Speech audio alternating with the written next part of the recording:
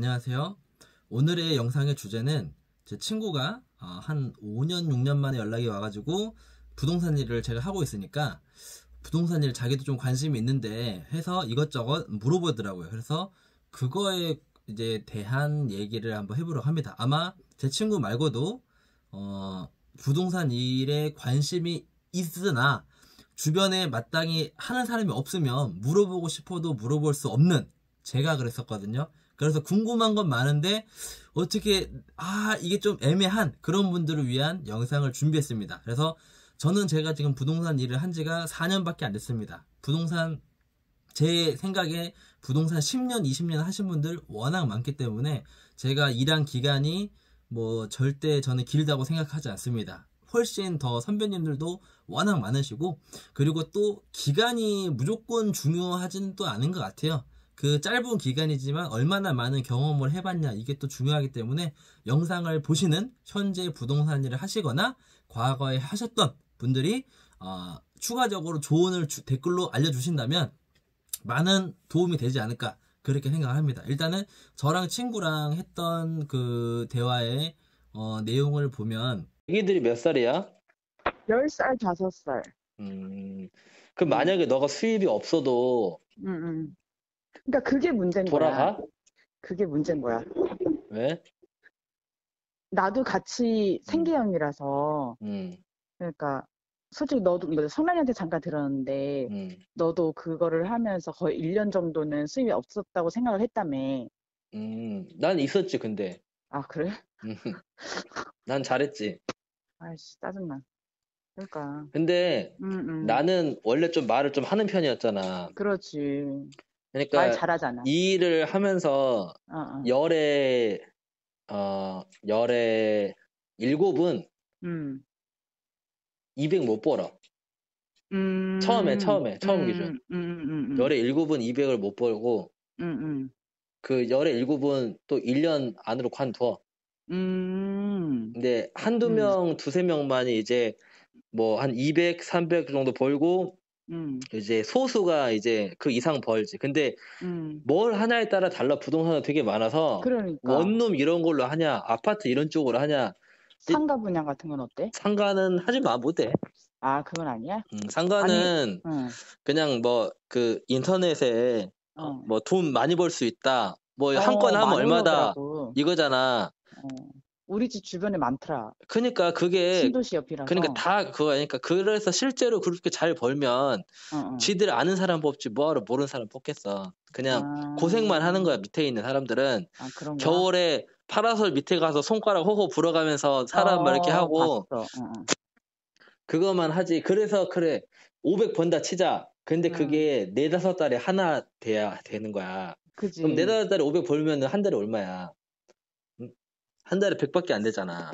음, 그러니까는 음, 음. 정말 이거를 오래 갈 거면 음, 남편하고 얘기를 해서.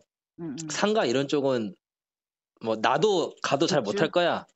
아 물론 고수득을 버시는 분들이 많이 있습니다. 하지만 초보자가 그렇게 고수액을 바로 내기에는 어, 절대로 어, 쉽지 않습니다. 뭐 불가능하다고 말하지 않을게요. 하지만 거의 열에 아홉은 쉽지 않다. 그러면 뭐 거의 어려운 거라고 봐야겠죠. 아파트나 뭐 원룸이나 뭐 그런 걸로 물어볼 줄 알았는데 상가 분양을 받더라고요. 그래서 아 야 그거는 아니다.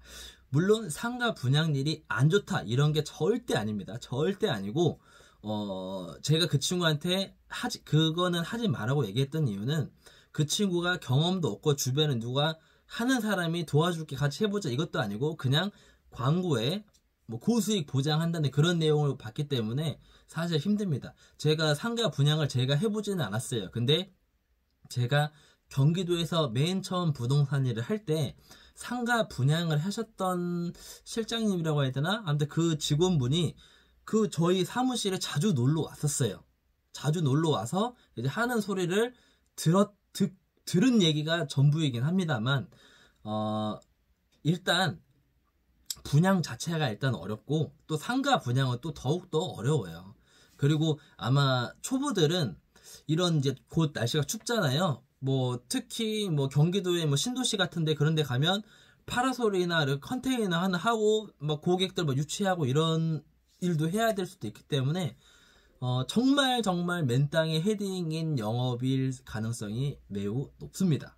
물론 이제 상가 분양을 해보신 분들이 더 혹시 전문적으로 아신다면 뭐 댓글로 달아주면 더 어, 감사할 것 같아요. 만약에 월급제면은 그래도 해볼만 한데 어, 대부분은 비율제란 말이에요. 그러니까는 내가 매출을 계약을 시키 뭐 매출을 띄워서 거기에 이제 비율로 뭐 5대 5면 5대 5, 6대 4 뭐 이런 식으로 비율로 나눠가는 게 대부분이라 일단 나눠 가질 뭔가 매출이 있어야 수입이 생기겠죠. 근데 그게 어, 처음 하시는 분들은 쉽지가 않습니다.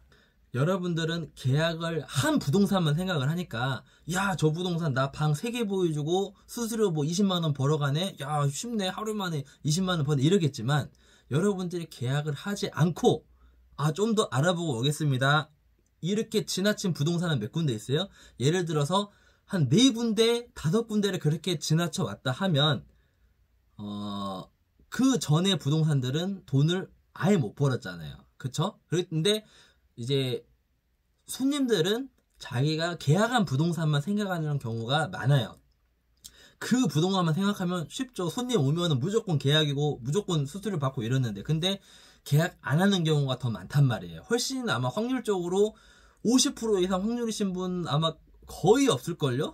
거의 아마 50 손님 확률이 높아야 아마 30% 정도 될 겁니다. 높아야 30%제 기준으로 높아야 30% 어, 안 좋은 사람은 10%도 안 되면 10명 손님 보여줘도 하나도 계약 못하는 경우도 허다합니다. 그러신 분들도 비싼 막 막 한 10억 넘어가는 아파트나 건물이나 빌딩이나 이런 걸 하면은 열에 한 명만 해도 어, 1년 동안 뭐 놀고 먹을 정도의 수수료가 벌 수도 있겠지만 그거를 누가 초보자한테 그거를 하냐고요. 여러분 절대 그럴 수 없습니다. 일단 원룸 그 500에 30짜리 계약 하나 하는 것도 그 500에 32지만 방을 많이 따질 수밖에 없죠. 그래도 내가 계약한 내가 월세가 좀 저렴하게 할 거라고 아무 방이나 계약해요? 아니란 말이에요. 최소한 내가 본 집 중에서 제일 괜찮은 집을 계약을 하기 때문에 처음에 시작하시는 분들은 이미 시작하고 있는 사람들과의 어, 눈에 보이지 않는 경쟁을 해야 되는 거예요. 그 손님이 나, 나, 나, 나 포함해서 A, B, C, D 부동산에 들렸으면 이 네 사람이 보여줬던 방보다 내가 보여준 방이 더 좋아야 나랑 계약을 하는 거지. 아니면 그냥 다 나는 뭐 시간 낭비라고 하긴 좀 그렇지만 어 돈을 못 버는 그런 좋은 경험을 좋은 경험만 하다가 어 퇴사를 하신 분들도 굉장히 많습니다. 그래서 일단은 그 친구가 가장 큰 게 매달 수입이 없으면은 좀 생, 생활이 어렵다 그래서 아 그러면 아예 부동산 일단 하지 말고 조금 여유가 있을 때 조금 네가 한 세네 달 정도 수입이 없더라도 집안 생활이 충분히 될 때 만약에 아이가 없었으면 그래 뭐 카드로 좀 한 두세 달 버티고 한번 해봐 해보면 되겠지 하겠지만 애기들이 있기 때문에 사실 그렇게는 얘기를 못했고 또 제가 지역이 또 멀기 때문에 제가 어떻게 뭐 도와줄 수도 없고 제 코가 석자입니다, 저도. 그래서 딱히 도와줄 수도 없고, 도와준다고 또 되는 것도 아니에요. 도와준다고 되는 것도 아니고, 그래서, 어, 월급제가 있으면 좋겠지만, 월급제로 뽑는 곳은 아마 거의 없을 겁니다. 거의 아마. 있다고 해도, 만약에 여러분들이 예를 들어서 뭐 200만 원 월급을 주는 부동산을 정말 운 좋게 처음에 그런 데 입사를 했다고 칠게요. 근데 내가 일을 하다 보면 알잖아요. 내가 회, 매출을 200 이상을 띄우면서 200을 받으면은 그래도 마음 편히 다니는데 내가 매출 띄우는 건 30만 원, 20만 원, 50만 원인데 월급을 200만 원 받으면 아마 스스로가 그냥 관둘걸요. 짧은, 짧은 제 경험으로 아마 설명을 어, 해드리자면 일단은 이 일은 영업직입니다. 영업직. 100%.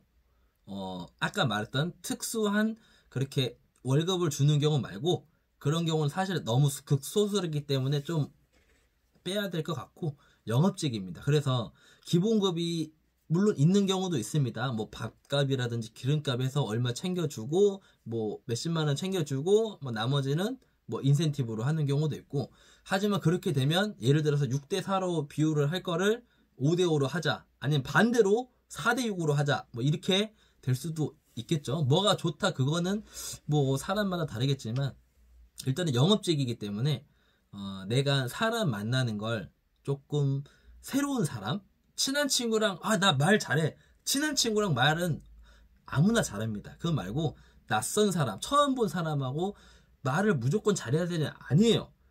말 한마디도 안 하고 방 너무 좋은 거 보여주면은 계약하는데 방 너무 좋은 거 보여주려면 내가 방을 엄청나게 많이 알아야 되잖아요. 그게 단기간에 될 수는 없잖아요 그쵸? 그게 몇 달은 걸릴 거란 말이에요. 원룸 기준입니다. 아파트는 또 얘기가 달라져요. 상가도 달라질 수 있고. 그렇기 때문에 최소한 내가 좀 낯가림이 심하다 하신 분들은 추천을 안 드린다기보다 고생을 많이 하실 수밖에 없어요. 물론 낯가림이 심하신 분도 그거를 이겨내고 성격이 변화되면은 충분히 가능성은 있으나 처음부터 그 성격이 확 빠르게 바뀔 수는 없기 때문에 똑같이 10명의 부동산 일을 한다면 제 경험 제 제가 경험했던 건 그래도 한 70% 정도는 관둡니다. 한 2년 안으로. 왜? 왜 관둘까요, 여러분? 이유는 하나예요. 돈을 못 버니까. 돈을 못 버는 이유는 뭐, 뭘까요? 계약을 못 하니까. 계약을 못 하는 이유는 뭘까요? 계약을 못 하는 이유는 내가 방이 많이 없거나 아는 뭐 집이 많이 없거나 손님이 많이 없거나 그리고 하나 방도 좋고 손님도 많은데 내가 어, 적성에 안 맞아서 이 아마 세 가지로 크게 보면 볼 수 있을 것 같아요. 그렇기 때문에 열에 일곱 명 정도는 한 2년 안으로 관두지 않나. 야, 나도 방 계약할 때 보니까 한 방 한 네 개 보여주고 나 거기서 계약을 했거든? 그 부동산에 네 개 보여줘가지고. 그래서 수수료 그때 한 50만 원인가 냈는데, 야, 그 정도면은 나도 한 네 개 보여주면 되는 거 아니라고 말을 하더라고요. 그것도 맞아요. 네개 보여주면 되는데 그래서 야 너가 그, 그 부동산에서 네 개를 받잖아. 어. 그럼 그 부동산 말고 그 전에 다른 부동산들은 안 갔었어? 갔었어. 몇 군데 갔었어? 한 여섯 군데? 어, 그러면 너가 그 여섯 군데 부동산에 포함될 수도 있다는 생각은 안 해? 그렇게 말했거니까, 아, 그럴 수도 있겠네. 내가 부동산 일을 한번 해보고 싶은데, 어, 내가 세네 달 동안 수입이 제로여도 에이 뭐 100만 원은 벌겠지 그 생각하지 마세요. 아예 없던 없을 수도 있어요. 많은 1년 동안 하신 분도 없을 수도 있습니다. 저도 마찬가지고 저도 마찬가지고 한 달 동안 일해도 수입이 뭐 30만 원, 20만 원일 수도 있어요. 그렇기 때문에 아예 내가 수입이 없어도 세네 달 동안은 버틸 수 있다 하신 분들은 한번 시작을 해보는 걸 어, 추천드립니다. 세네 달 동안 버틸 힘은 없지만 난 정말 말도 잘하고 모르는 사람하고도 말 말도 잘 하고 굉장히 나는 시작하자마자 사무실에 앉아서 컴퓨터만 보는 게 아니고 바로 여기저기 돌아다니면서 여러 번 정말 방을 많이 보려고 노력을 할 자신이 있다 한다면 꼭 세네 달에 세네 달 동안 수입이 없으면 못 버틴다. 그렇다 하더라도 한번 좀 시도해 볼 만한 일인 것 같아요. 어, 너가 정말로 하고 싶다면, 굳이 하고 싶다면, 아까 말했지만 첫 번째로, 어, 월급제인 부동산을 네가 찾아보고 아, 근데 근데 이거는 아마 현실적으로 많이 없을 것이다. 없을 것이고 두 번째로는 역 근처 지하철 역 근처 유동인구가 많은 부동산으로 이왕이면 가라. 네가 선택할 수는 없겠지만 그런 부동산에서 사람 뽑아야 가능하겠지만 이왕이면 가라. 사실 요즘은 뭐 역 근처보다 다 인터넷 광고 보고 이렇게 손님이 오기 때문에 사실 역 근처의 부동산의 메리트가 많이 줄긴 했는데 중요한 건 처음에 들어가는 신입이 블로그를 한다 그래서 블로그가 처음부터 막 활성화가 되겠어요?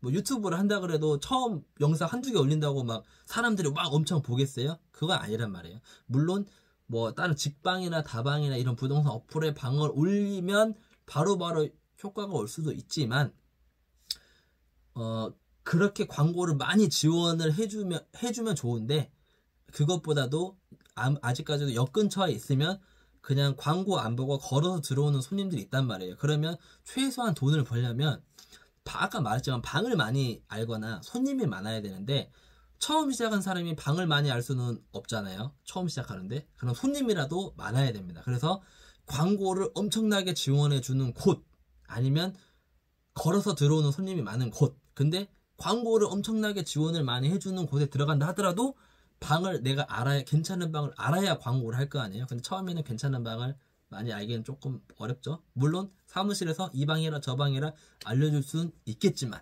어 전세 일반 원룸 투룸 전세 월세 위주로 하시는 분들이 있고 요 분들은 이제 tech tree가 원룸 투룸을 하면서 이제 원룸 투룸 건물을 이제 중개하는 이제 그런 아마 tech tree로 타고 뭐 상가만 전문으로 하시는 부동산도 많습니다. 상가만 전문으로 그리고 어 어디 이제 공장 단지 가면 공장 전문으로 하는 부동산도 많고 토지 전문으로 하는 부동산도 많고 빌라 분양만 전문으로 하는 뭐 부동산도 뭐 빌라 매매나 빌라 그런 거 하는 데 있고 아파트만 하는 또 부동산들이 있고 지역마다 다 다르기 때문에 지역 아마 그 한 부동산의 그런 주력으로 뭘 하냐에 따라서 많이 아마 좀 달라질 거예요. 뭐 하는 일이라든지 제가 아까 말했던 손님들의 비율, 뭐 계약 비율이라든지 뭐 연령대도 당연히 다를 것이고 지역마다 하니까 그, 그, 다 다르기 때문에 제가 제가 말한 답이 정답이 아닙니다. 그래서